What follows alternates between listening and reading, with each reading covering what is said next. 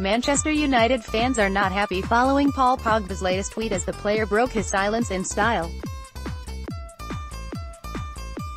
The Frenchman's agent Mino Raiola stirred up a storm by criticizing Paul Scholes and calling for his client to be sold. United supporters were furious and hoped Pogba would make some public comments to completely end all the rumors of him leaving.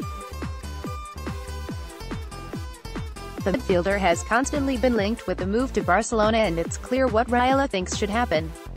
Many fans were hoping Paul would drop his agent altogether instead of making a public statement, particularly due to the agent's history with the club. Nothing about your agent. F off, Angel Gomez, at AngelGo3174087, August 23, 2018 Shush isn't good enough.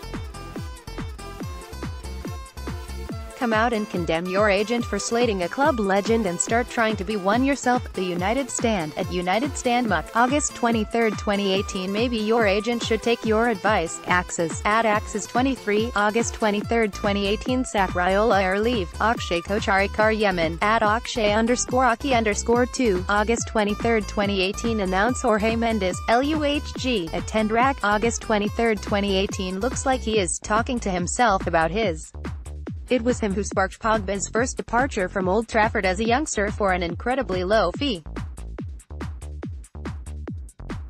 United would then end up spending a then-world record fee in order to bring the former Juventus man back.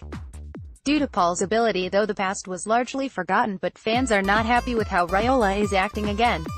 The Academy man's latest tweet also hasn't gone down well, seen putting a finger to his lips.